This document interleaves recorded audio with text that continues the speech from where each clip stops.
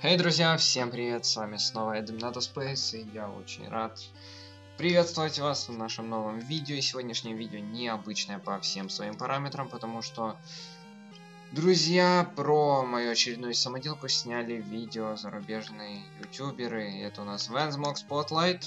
Думаю, вы многие его знаете, те, кто разбираются в этих всех мог штучках. И про мою самоделку Soundwave G1 из трансформеров он снял на нее как бы свой обзор, свой спотлайт. И сейчас мы посмотрим на это видео и должен сказать, что это очень классная для меня новость. Я очень рад, что мои самоделки замечают такие на самом деле люди продвинутые. И, блин, действительно, я уже второй раз появляюсь в этом Мог Спотлайте. Первый раз это была моя самоделка Саурона на... Но я не делал такого спешл видеообзора, потому что, ну, это был первый раз, да. Но это второй раз, то есть второй раз я появляюсь в его вот этой рубрике про различные самоделки, которые он считает лучшими, которые люди постят на его э, сайт. Ну и давайте уже без лишних предисловий начнем смотреть это видео. Надеюсь, оно вам понравится. Это полностью эти все права принадлежат, понятное дело, Vans э, Mock Spotlight. Это TTV Boards. Ну, а я это видео выкладываю только из-за того, что из-за моего уважения и радости того, что я попал сюда во второй раз. Что ж, начнем.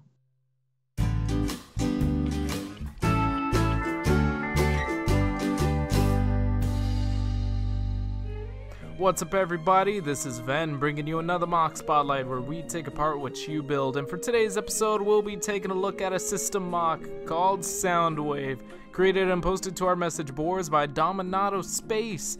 Now, before we get started, let me remind you of my method of reviewing, which involves a point system that is based on three fundamental attributes the overall appearance of the MOC, the build of the MOC itself, and the concept and ideas behind the MOC's creation.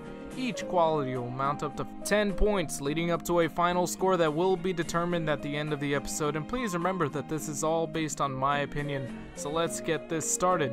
Alright, Transformers, robots in disguise as buildable figures, and one heck of a disguise this is. It almost doesn't even look like it's made out of Lego, it's just so solid. Now, for those of you who aren't so familiar with Transformers characters, this one in particular is based on the Decepticon Soundwave, specifically is designed from his 80s toy and 80s cartoon look.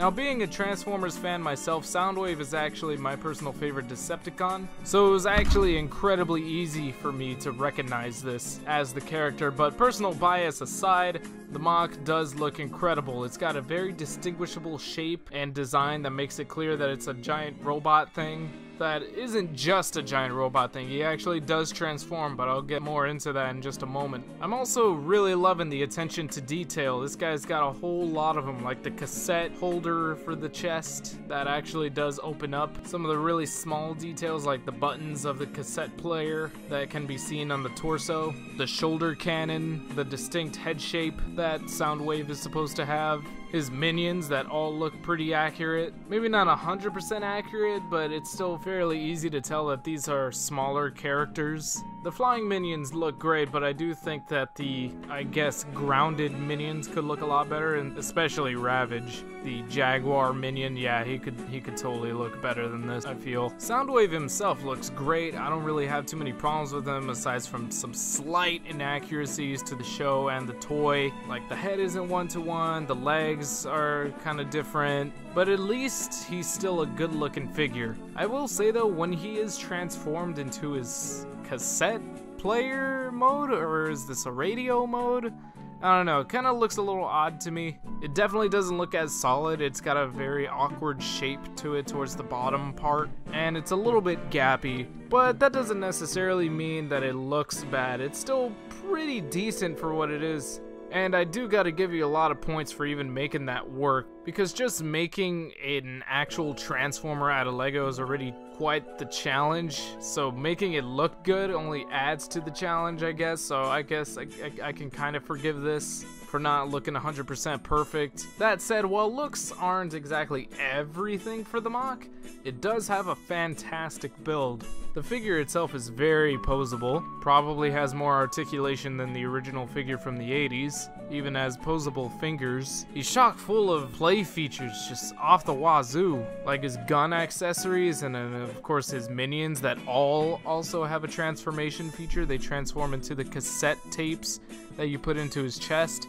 See, I'm, I'm thinking this is supposed to be a cassette player, but then the sides kind of make it look more like a boombox. But anyway, that is pretty cool to have that incorporated into the smaller figures. And at the end of it all, it just looks built to be as sturdy as can be. There's no part of this MOC that looks weak or loose or too easy to break, really. Overall, I'd say this is a really successful translation of a Transformer figure into LEGO form. Aside from slight inaccuracies, I do feel like the figure could not have been done much better, and it's probably one of the most, if not the most, successful LEGO recreation of a Transformer character I've seen, at least in recent memory. He's got the look, the aesthetic, the transformation, the cassette tape minions, everything you would get with the original toy, or everything you would see on screen in the old 80s show. That said, there isn't really much else for me to say on this, so I'd say I'm just about ready to go ahead and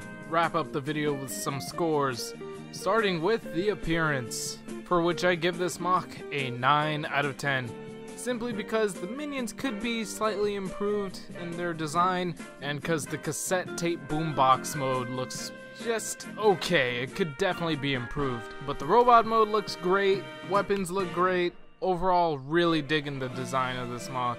In terms of the build, this MOC receives a 10 out of 10. While the transformation could have been left with better results, it's it's almost impossible for me to deny that this is a job well done in implementing a transformation feature into a Lego figure and still keep the figure itself looking as good as it does, and also acting as a proper action figure with standard points of articulation and play value that's actually worth talking about. And really what I'm saying is that it takes a really good build to make all this work in the same MOC.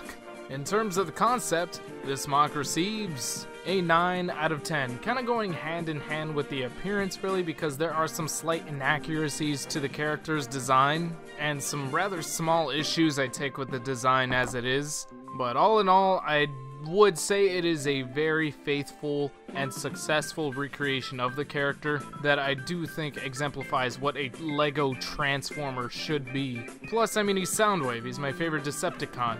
Now, do me a favor and do my favorite Autobot, Grimlock. Please, I would love you forever. And now, with all that said, we are left with a final score that all adds up to a 28 out of 30.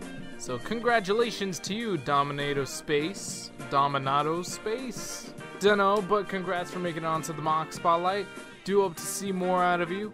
Same goes for the rest of you viewers. If you think you have the creativity that deserves to be spotlighted on the MOC Spotlight, then go ahead and post your own MOCs to our message boards at board.ttvchannel.com. Check out the LEGO Creations category and just post whatever you got, man. System or Bionicle or CCBS based, doesn't matter. As long as it's Lego, as long as it's creative, then it's pretty safe to say you'll get your MOC spotlight sometime in the future. Bear with me, there's a lot of MOCs for me to sift through, obviously. So until then, I thank you for watching, and I'll see you all next time.